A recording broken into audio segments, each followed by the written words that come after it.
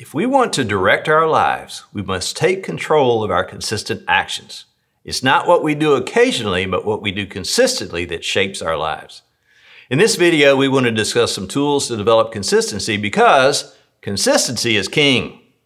Consistency is the one thing that separates great agents from the rest. And developed fully, consistency breeds tremendous results. Your consistency in prospecting, client management, marketing, training, your health, attitude, mindset, and of course your enthusiasm will determine how successful you become as a real estate agent. Allow me to offer three principles that I believe will help bring superior consistency to your real estate career. Number one is what I call the my purpose and my passion principle. You know, most agents fell into real estate with a let's see how this goes approach, or it seemed like a good idea at the time, or hey, I'm good with people and I would make a great agent. Whatever the reason, it's evident for some that the dream is just not the reality. Instead, it's become a challenging and stressful career with limited success that does not reflect their true potential. Agents have not calculated what it would be like, what sacrifices need to be made, or more importantly, whether or not this even aligns with who they are or what they want out of life. It's hard to turn up every day without passion and purpose in what you do, that's for sure. So ask yourself these questions Why am I doing what I'm doing? What do I want to get out of it? Where do I want to be in one, three, five, or even 10 years or more?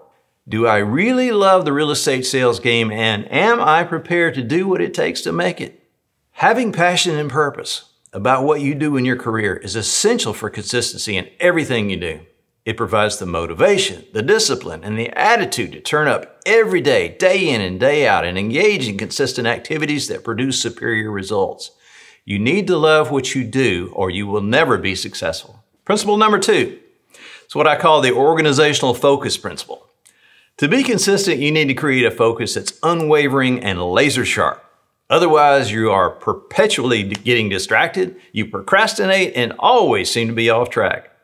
One of the best ways to create focus is to get organized and create structure. Structure, through being organized, gives you a platform to create routine, and this in turn gives you focus. This focus then produces high levels of consistency. Studies by David Rock, the co-founder of the Neuro Leadership Institute and author of the book Your Brain at Work, show that most of us only truly focus six hours a week. So it's easy to see how we Americans are plagued by inconsistency. But the great thing is that you can actually train your brain to make your focus better. Simply set aside five minutes a day to sit quietly and meditate, just closing your eyes and focusing on your breath going in and out. This practice actually trains and conditions your brain, which enables you to focus better on tasks. Remember, organization equals structure, structure equals routine, routine equals focus, and focus equals consistency. So lastly, number three, I call the power of perception principle. Your paradigm, the way you view things, perceive things in life, impacts your career more than the actual events that happen to you. When it comes to consistency, it's imperative that your mind has the ability to perceive things in the correct way.